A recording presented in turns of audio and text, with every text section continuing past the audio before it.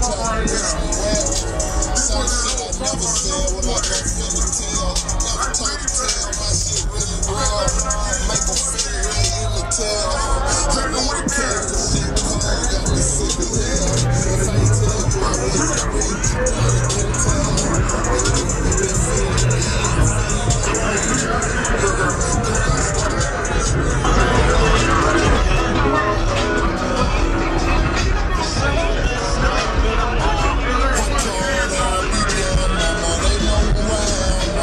Just